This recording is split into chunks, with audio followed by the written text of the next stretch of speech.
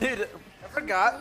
At the fucking Ninja versus versus Mr. Beast thing, like uh, show match ever, bro. There were like, I swear to God, five-year-olds in the crowd just yelling at Ninja. Go play Fortnite! Play Fortnite! I swear to God. I swear, bro. Like, like, they would say it and then laugh. Like it was an insult.